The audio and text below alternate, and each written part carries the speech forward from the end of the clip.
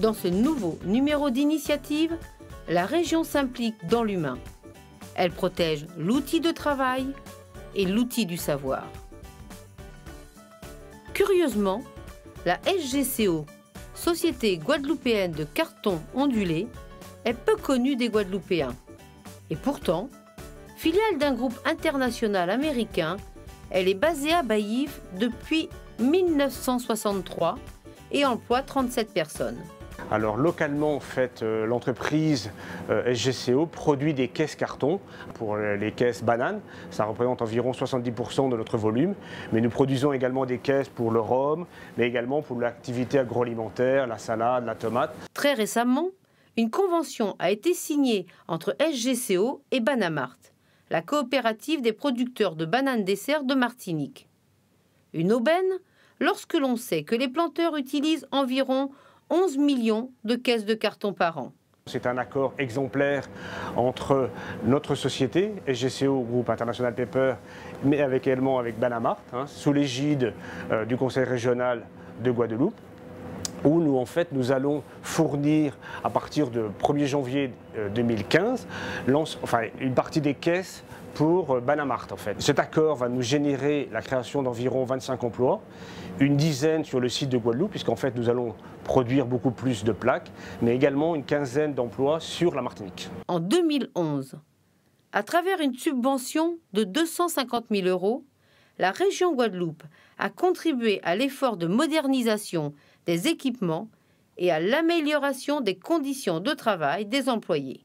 Effectivement, la région a apporté un soutien financier conséquent euh, dans les années 70-80. Euh, Donc il y a trois ans, effectivement, la région également a participé à un programme d'investissement sur cette usine, en fait, hein, qui nous a permis d'améliorer l'outil de production euh, et puis de faire ce qu'est ce cette entreprise aujourd'hui. Éric Camalet est à la fois responsable de la production et contremaître au sein de SGCO. Après 32 années de service, la fabrication du carton ondulé n'a plus aucun secret pour lui. On a une chaudière qui de la, de la vapeur avec euh, du fuel et nous on envoie de la vapeur euh, sur des trois machines. Il faut sécher la colle dans le papier. Alors il faut avoir de la vapeur. Si on n'a pas de vapeur, on n'a pas de carton.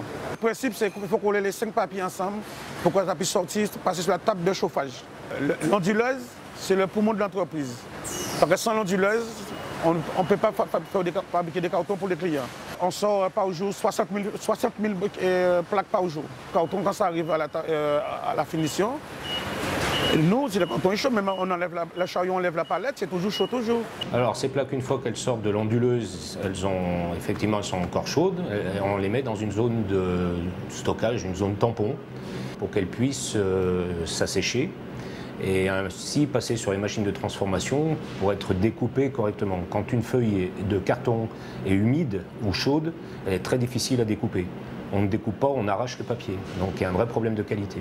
On est encore loin de ce qu'on pourrait produire.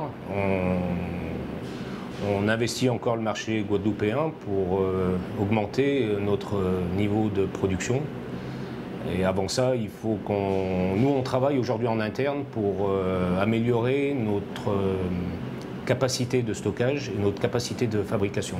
Nous nous sommes ensuite rendus à l'ultime poste, celui de l'expédition. C'est le stade de l'expédition. Donc c'est moi qu'on vient voir euh, pour faire passer sa commande de carton et pour la récupérer.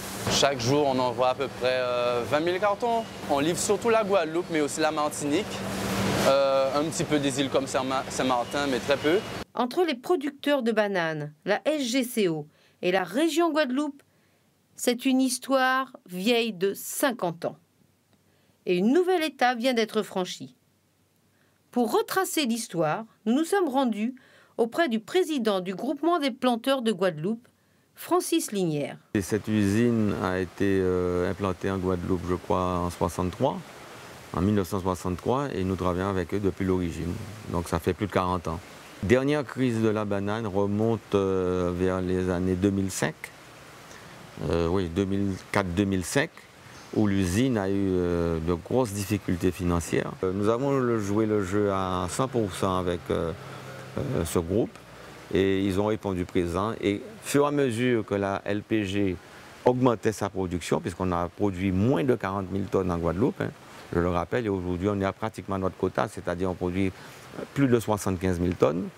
Euh, la cartonnerie, donc, financièrement, c'est euh, refait euh, remise à jour. La région a toujours été très soucieuse de cette cartonnerie parce qu'elle emploie du monde dans un, secteur qui est défavorisé au niveau de l'emploi. Si nous n'avions pas cette cartonnerie, euh, on aurait eu à importer les cartons donc, de métropole, à gérer des stocks.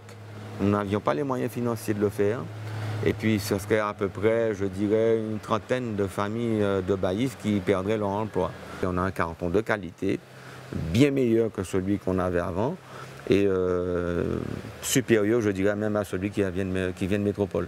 Francis Linière saisit cette opportunité pour donner un regain d'activité au port de Basse-Terre. Euh, nous sommes, nous, très vigilants pour que ce mouvement de carton qui va être fait à Baïf euh, soit privilégié et passe par le port de Basse-Terre. Ça, j'y tiens beaucoup.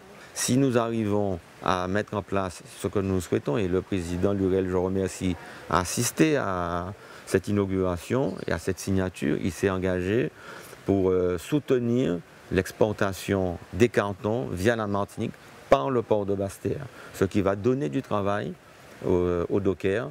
Ainsi, pour préserver l'emploi et pérenniser l'outil, la région a investi près de 600 000 euros dans la structure SGCO entre 2007 et 2009.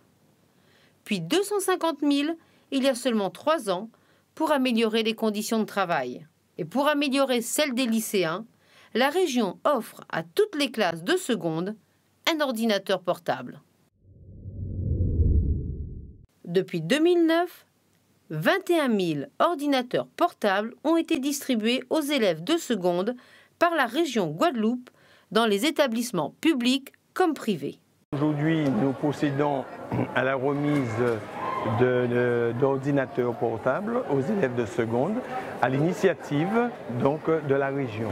Ces ordinateurs sont payés par la région et donnés gracieusement aux élèves qui doivent en prendre bon soin.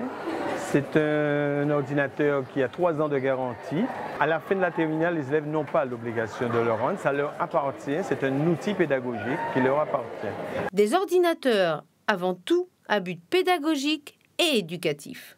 Il y a un certain nombre de professeurs qui vont demander, euh, en fonction du cours, à- aux élèves de ramener le- cet outil. C'est une initiative qui permet, à mon sens, de rééquilibrer un petit peu, d'avoir une certaine équité entre enfants. Et c'est une donc, euh, je ne peux qu'être heureux de cette initiative.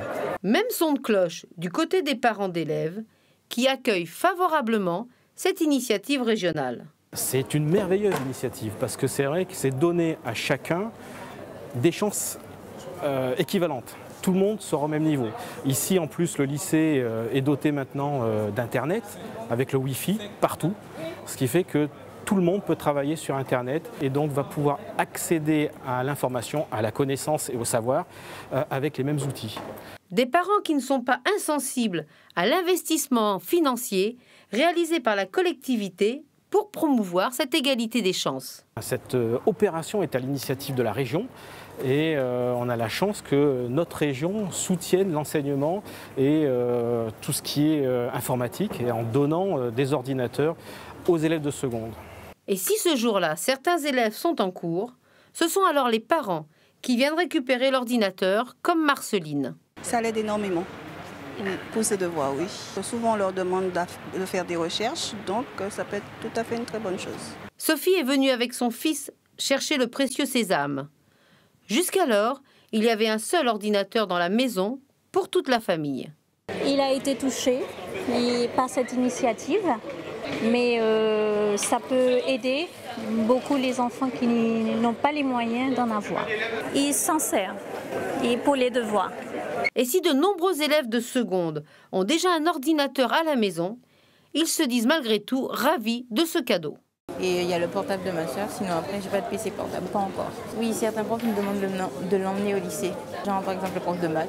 GeoGebra, on, on pourra, enfin si on peut le télécharger dessus, il me demandera donc de l'amener. On m'offre aujourd'hui un ordinateur. C'est aussi la première fois qu'un établissement scolaire m'offre un ordinateur. La démarche est intéressante pour tous les élèves. Peut-être qu'il y a des élèves qui n'ont pas d'ordinateur chez eux et comme ça, ça leur permettra d'en avoir un gratuitement.